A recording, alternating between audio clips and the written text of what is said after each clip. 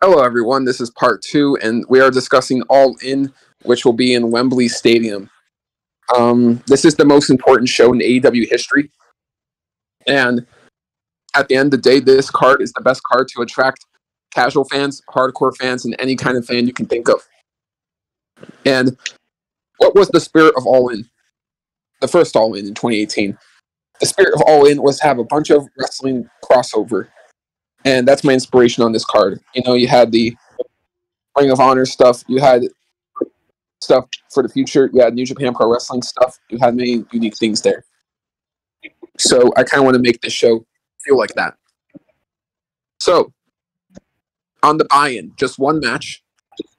You know, nothing too crazy like the other buy-in, but something still good for the people who aren't paying for the pay-per-view.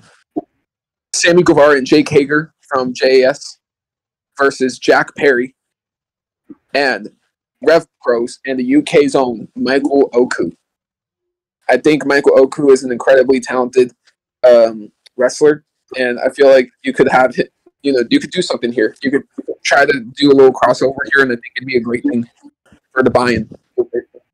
Now, the main show, the opener. Let's start off with a hot technical match. Bryan Danielson versus Zack Sabre Jr. They would go at it. They would go to war. But the winner would be Bryan Danielson. And after the match, Bryan Danielson will try to ambush Zack Sabre Jr. with Claudio and Yuta. But then the one who comes to make the save is Kota Ibushi. And what happens? A mega announcement. The following week, in seven days, it'll be Bryan Danielson versus Kota Ibushi at All Out in Chicago in seven days. I mean, that sounds awesome. It sounds more fun to watch. Yeah, I'm honestly in the same with Bourbon, dude. You can't really say much about that, Chief. Now, match two. AEW Trios Championship match. House of Black, which I th- I don't know um, specifically where all three of them are, but you know, it, I feel like it, the House of Black could still get a good pop there. And then their opponents would be Mark Briscoe and the Lucha Brothers. So think about it. Mark Briscoe and the Lucha Brothers have been a very fun trio, and it makes sense because Pac has kind of gone full ballistic mode with the hammer Hammer and stuff. And I know Lucha Bros have kind of used the hammer here or there too, but Pac was the one who was the main influence behind that mentality, and Mark kind of influences the good in Lucha Brothers. So eventually, we could definitely do a Mark Briscoe and Pac feud, but that's for a later day. We're talking about today. House of Black versus Mark Briscoe and the Lucha Brothers. You can have a strong babyface trio there, but in the end, the House of Black continue their reign of dominance and retain. I think that'd be good. I think they're only going to get a nice pop because the house, the members are from the UK, so it makes so much sense to have that. Them, so they're gonna have a nice pop. I think this is gonna be a fun match to watch. Definitely a good trios to watch. I will happy to see. Uh, happy to see House of Black keep their dominance alive. Yep, and also too like how you have uh, King kind of pinning Phoenix so that way you can protect Mark Briscoe, so you don't make him look like um well not a joke necessarily, but you kind of protect him just a little Yeah. bit since he's somewhat new to because he's he's mostly in Ring of Honor right now, but I think eventually he'll win that world title from Joe or whoever takes over. So it's a good way of doing that sort of thing. No, yeah, no, I- yeah. You you see what, what I'm uh, doing though. Yeah, I want Briscoe to be the one who gets pinned. Yeah. And I mean, you can have him get pinned, but I don't. I don't really think it would be necessary. So, moving on to the TBS Championship match, Taya Valkyrie, because I said Taya would win at Double or Nothing. Remember, so this would be a three-month title reign, and it would be against the UK's Saraya. And think about it like this: Saraya debuted in September at Grand Slam, so 11 months later, she wins her very first championship in UK in a stadium. It would be a glorious moment. I know it. Even though she's a heel, it would be a great moment. And she still has that ring rust in a way. I'm not going to say she's a bad wrestler because I don't think she is. I think she's a really good one. But she kind of still has that ring rust here and there. And I feel like you could really play it safe by giving her the TBS title, and that'd be a great way of making that title mean more than it currently is. You know, and even if it goes on Taya Valkyrie, I think she could have a solid little reign. You know, like I said, three months. But I don't think Taya could really do a year long plus title reign. I don't want to see another long title reign after Jay just had the you know infinity long title reign that he has had, and I would rather do some short reigns. You know, make that title mean a bit more. And I know I bitched about the TNT title doing that, but the difference is is that the TNT title constantly changes without purpose or reason. I feel like if you had the TBS title change hands at Double or Nothing and then do it again at All In, both times would have a purpose behind it. Double or Nothing would be the end of Jade streak, and that's how you could make Taya a bigger star. So when she does lose to Saraya three months later in the UK, it wouldn't be that big of a deal. And both moments would be big and mean something and have purpose and reason behind it. That's just my way of viewing it. Yeah, to me that'd be fun. I can't wait to see that happen. And there's everyone's probably for Saraya just because of the she's from the UK too, so it makes perfect sense. And happy to see Taya Valkyrie having that title coming over there. I think it's gonna be fun to watch. So I'm happy with Saraya winning. Yeah, and if anything, too, hopefully they keep Jade Cargill out of the TBS title for a hot minute because you need to kind of build more legitimacy. Because Well- for like the longest time, the TBS title doesn't really mean anything. My idea for Jade Cargill is I would like you know how I said I'd have her lose twice, once at Double or Nothing, then at Forbidden Door. Mhm. I'd have her disappear at for after Forbidden Door without saying a word, without anything, right? So I'd let her be gone for a good five or six months, maybe almost the entire rest of 2023. And during that meantime, she can train, she can improve, and you know when she comes back, like I said, she has the look, she has the capability of being a superstar. All she really needs is more of that in ring um, ability. So she went away for six months in privacy and, and went quiet for those six months and focused in on that training. I think she could come back and be a bigger deal and a better wrestler. And that's actually how it would go about the Jade Cargill thing.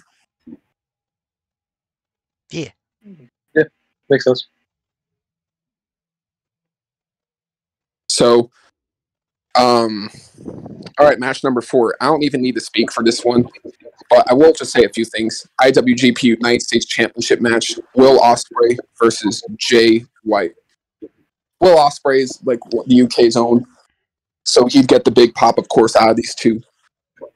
And basically, this would be right after Will Ospreay beats Kenny. And Will Ospreay is going to be going on a redemption arc. He's going to win the G1 he's going to do all the things he said he needed to do after he lost to Kennedy. Not Kennedy, Kenny. Remember when, after he lost to Kennedy in January, he said he has one more year, one more year left in his contract. He has to win the G1 and the championship. That's his goal. That's exa- exactly what I would allow to happen. So to continue that dominance, that reign of dominance, he would beat Jay White here. But don't worry, Jay White fans.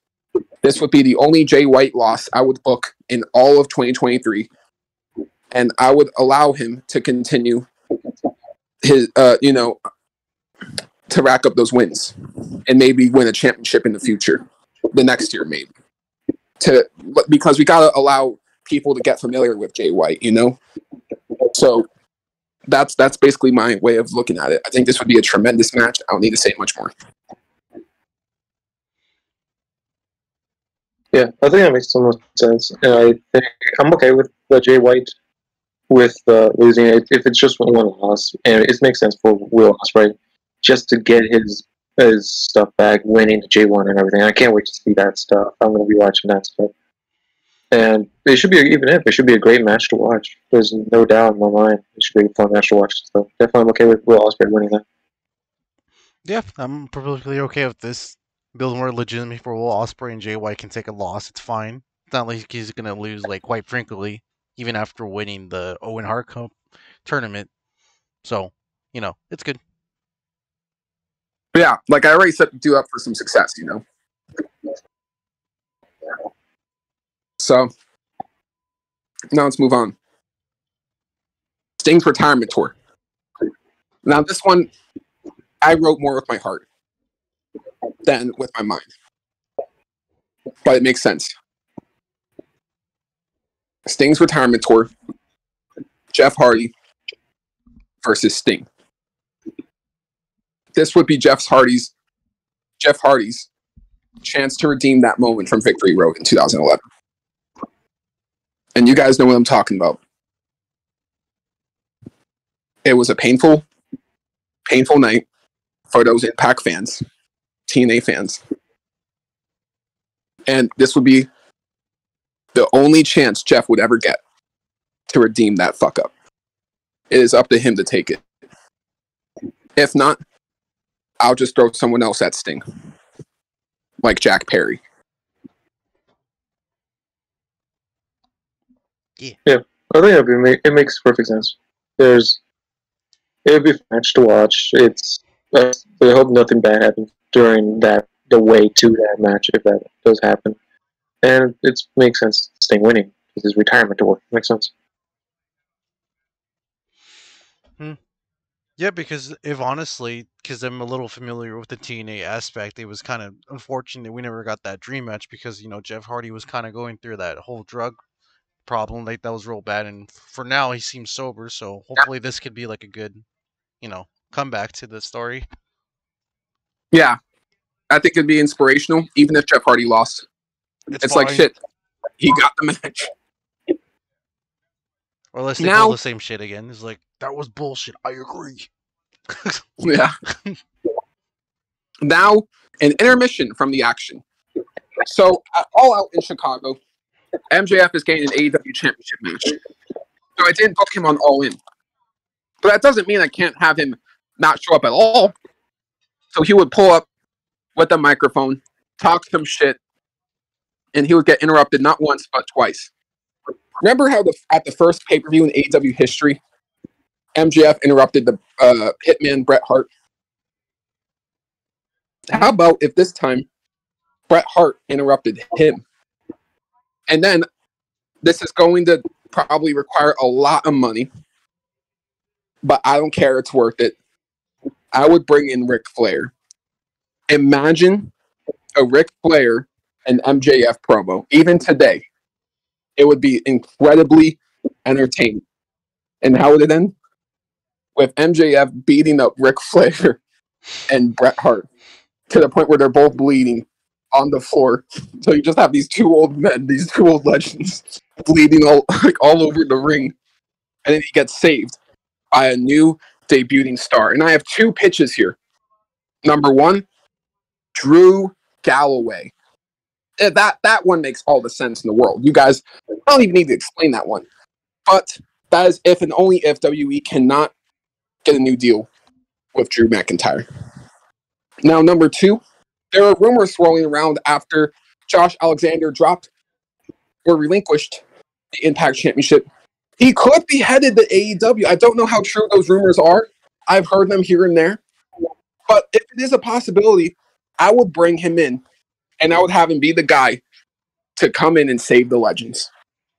So I gave you guys two names right there Drew Galloway and Josh Alexander. And no matter what name, it would make for a really cool moment in my head. Yeah, to me, I would say the same thing. I would love to see that happening. It'd be funny. The Chris would love to see the Ric Flair getting beat, beaten up brutally. That's what he likes to see. To see old men die. You know it's So- funny, Bourbon. Yeah, it's it is funny, but still messed up. But I think it'd be fun to see Drew Galloway or Josh Alexander come back.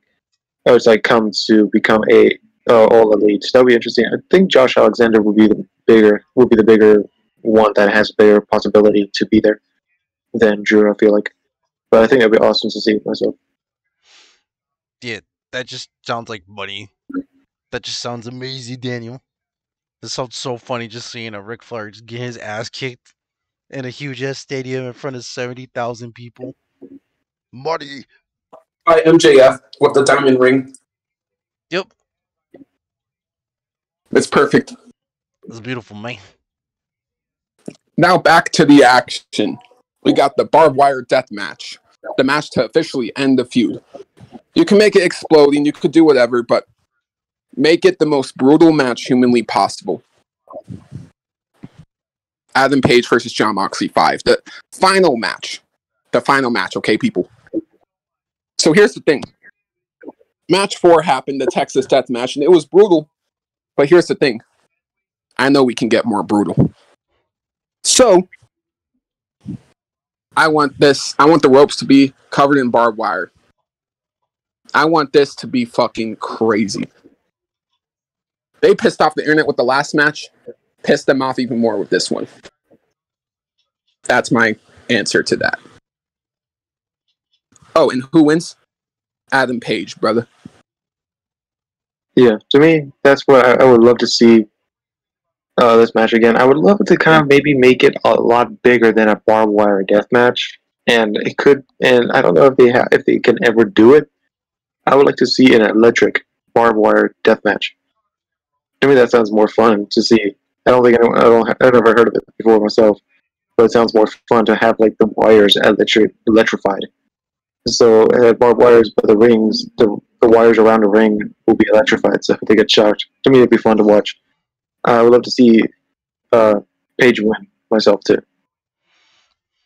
Yeah, same here. I mean, if they don't do electric barbed wire, they could just pretend Berman. They're good at that. Uh, even if it's a barbed wire death match, it's perfectly fine. But I think it'd be fun if they could add a little bit more to make it something we've never seen before without being electric barbed wire. Explosion barbed wire death match. No, that's they did bad. They did bad, bad job last time. So It was still a good match, though. Yeah, that's fair. I think just no matter what, make it violent, and that's all that matters. And yeah, now we get into the next matchup here. Uh, match number seven, AEW Women's Championship match. Jamie Hayter versus Mercedes Moné. I said what I said at Forbidden Door, and it makes sense to do the match here. I know it would cost a lot of money to do this, but guess what? You pay that fucking money and you make it happen, Mr. Billionaire. that would be fun. They could do that. Think it'd be fun to watch. I think uh, this should be a fun match. I hope there's no botches or nothing about that. So for me, I'm happy to see Jamie Hayter win that match too. I, I know I kind of want Mercedes money to win, but I know they can't do that. But you know, Jamie Hayter taking the W is fine because literally this will be the match of, you know, of all in. I'm down for it. It's just gonna add a lot, a lot of contribution. It's probably going to be the sickest women's match we're gonna see from this card. And it would probably be the, the biggest women's match AEW's ever done. Mm-hmm. So that's more depth to this card. Definitely. Now, this next match, I know you guys won't want it to happen, but think about it. We're trying to fill in 90,000 people, trying to fill in an entire stadium. This name has value What does it? and brings in the American, What does it? no, I mean the UK people. Think about it. This guy sells out a lot of stadiums, you could say. What does it? Bill Goldberg versus Wardlow in Goldberg's retirement match. Goldberg is pissed off at WWE for not giving him his retirement match, and he wants his retirement match no matter what. But if he's going to do it, I want him to do it while putting over a new talent. Why not put over Wardlow? So you could just make it a quick match, you know, spear, spear, jackhammer, power bomb, spear, spear. You know, you could just do all that bullshit. But Wardlow gets the win. That's what matters most. And we give Goldberg a stupid retirement match, and he can go away. Yeah, I don't know. I, I, I kind we, uh, me, I'm not happy with seeing if they had put Goldberg, but if they wanted to, they could easily do it. Make it. It's just a big pop in the arena every time, and you can hear the Goldberg inside the arena, and everything. So it'll be fine. At least, and then the Wardlow, it makes sense to me. I'm okay with it. At least it should be. I just hope it's a really quick, uh, fairly quick match at least. So I'm okay with Wardlow Yeah, winning that. I'm It would not, be. I'm not happy with this match. It's stupid, and you know it's a waste of money. But I understand you have to bring in Oldberg to bring in the crowds of boomers that actually care about this stupid job. But you know, it's whatever. You know what needs to happen, yeah. It's like I don't want to book the match, but it has to happen. Can You just make that the opener. Nope. Make this your piss break match, butter. You you can't just have Jamie Hayter versus Mercedes Money be match of the year, and they're just like, all right, book it. Get Yeah, Goldberg and th- Wardlow. think about it. Think about it. It might be so big we might need to take a shit or piss after that match. That's the perfect match then. It's gonna be less than two minutes. It's like, you know, think about it like this, right? You're gonna eat some delicious, amazing lasagna with Mercedes versus Jamie, and then you're gonna be like, "Oh, I need to take a shit." then Goldberg versus Wardlow comes on, and it's like, "Oh, perfect timing." Yeah, a good, a good, a good shitty match. Yeah. Thank Now, you, do you understand my point, Chris? The lasagna is not even that good. Just, just go with my fucking point. here. You know what I'm talking about. Fine. Pineapple pizza for you, you weirdo. That that's better, man. I'd rather take the lasagna personally. It sounds good too. But hey, we'll have that debate another time, Chris. now, triple threat match for the AEW Championship. Darby Allin versus Pac versus Adam Cole, baby. So think about it like this. Remember how Adam Cole got injured? It was in an heavyweight championship match. It wasn't an AEW championship match, but it was for a world championship. You know what I'm saying? hmm So he can look at the AEW championship and he wants redemption by getting that title and basically responding to his injury. But then there would also be a heel Pac waiting for that AEW championship. He's tried to get it multiple times and he wants it now. But then there's Darby Allin, who's been the champion who when who won the Four Pillars Fatal Four Way, who would have beaten Naito, and now he has to deal with two passionate and angry challengers in Adam Cole and Pac. So you get this intense triple threat. The winner faces MJF the following week at All Out, and the winner out of these three would be Darby Allin. So the following week's main event at All Out would be confirmed. Darby Allin versus MJF, the sequel to Full Gear 2021. But this time, the second match will be longer. It'll be better. And it'll be even more intense. Yeah, I think that'd be pretty fun. And there's nothing bad it to me. I would love to see this match. This match sounds really great. Darby Allin winning. Darby Allin winning is one of the biggest ones too for me to see. I love seeing Darby Allin. Yeah, and just have him be Pac and Adam. Wait, no, Adam Cole didn't fight in this one. I'm I'm dumb. I misread it. I thought it was like, wait, why is Adam Cole in two different matches? And then I saw the Adam isn't this one. Page. Threat. No, no, I, I just saw the thing, but I'm cool with it. You can never go wrong with a trios championship match. But we know what the Yeah. real main event is, man. Yeah, that's why it's not the main event. The main event. If if I'm I'm saying this has to happen. Th- There's no other match that will be bigger than this match to main event in the UK. CMFTR versus the Elite. The drama they this, this has become has become so huge that if you do not have this match main event at all in, no matter what other match it will be, it will be considered a disappointment. Yeah, I would say the same thing. It would be a disappointment to see just not see this match. It is a dream match to see, and I think it would be a great match to see at the same time too. So they can uh, hope they can just split. Sorry, be okay with each other for just one night, and then just go back to hate each other the the next night. Like it's just please just have this match for one night, and then just start hating each other at the end. That's all. Come on, guys. Be be be good sports for the for the company. So I'm okay with the elite winning myself too. Yeah, boy, if this match ever does happen, if it ever happens, it would be amazing. But, but we'll see. This is fantasy booking after all, so we'll we'll have to see if this actually comes to fruition or whatnot. Daniel, how likely is this to actually happen? Like Loki, like honestly, how likely is this to actually happen? I'm going 50-50 at the moment because I do have my ideas. Because part of me thinks that I'm not going to call this shit a work. It's not a work. It's, it's clearly all not a work. But there's one thing I will say. I do think it is possible that they could have talked things out already, and the elite and Tony Khan are working the dirt sheets, and they're spreading false information, possibly. I'm not saying it's true, but it could be a possibility.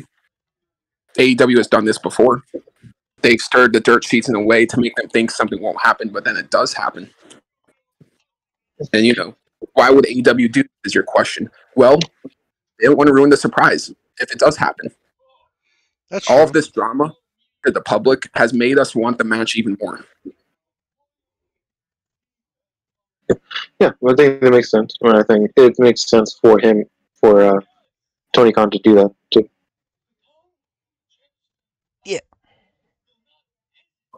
Now, this is part three. That was all in. What do you guys think of this all in card? This one's definitely my favorite so far. We have to get to the third video, but this one definitely has more of the entertaining matches. I would say, not to discount Yeah, New me Japan. Yeah, me too. I really like. I really like the card myself over here. I would hope so because this show has to be AEW's best and biggest show of all time because it's from an audience standpoint going to be the biggest. Their first stadium show, not just a stadium show like Arthur Ashe, that was only 24. Wembley is 90,000. They may never do something this big ever again.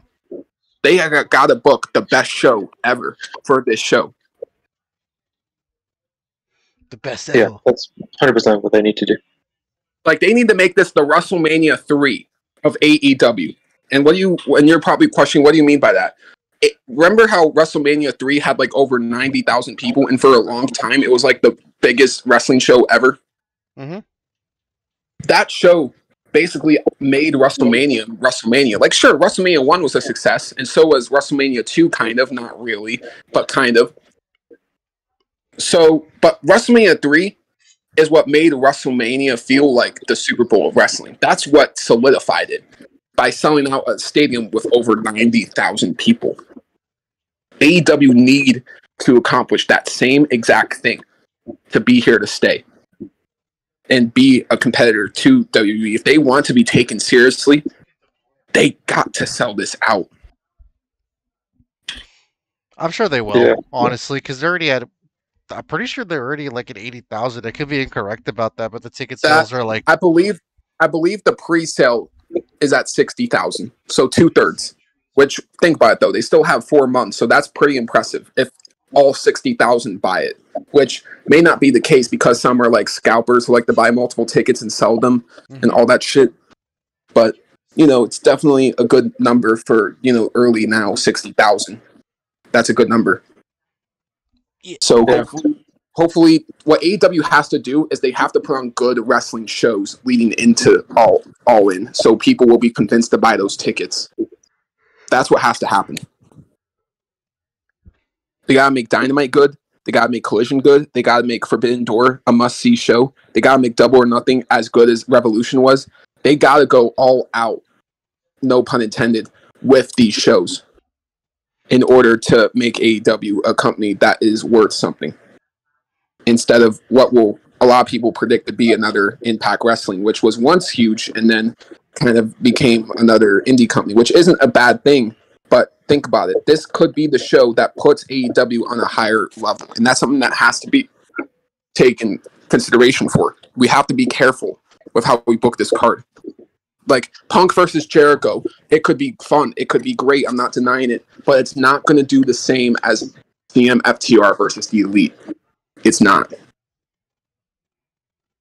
Yeah, probably not, but it could sell out the show right there.